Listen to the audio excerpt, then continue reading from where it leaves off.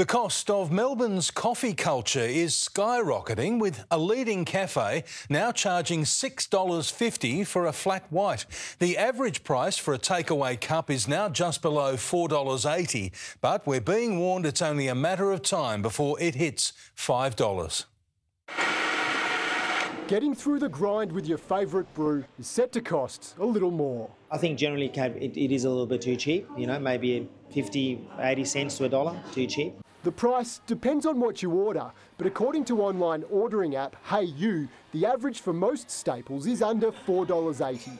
Some cafes say that isn't sustainable. 550 for a single, you know, once you get to the bigger, larger cups, maybe a little bit more.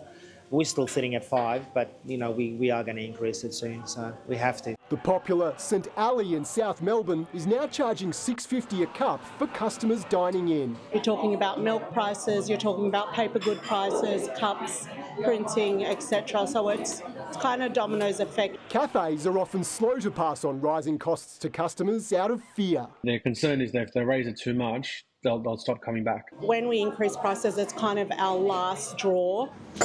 Thank you. Data shows a latte is the coffee Victorians buy the most, but you'll pay a bit more for one depending on where you live. The average price here in Melbourne's northern suburbs is 44 cents higher than in the south.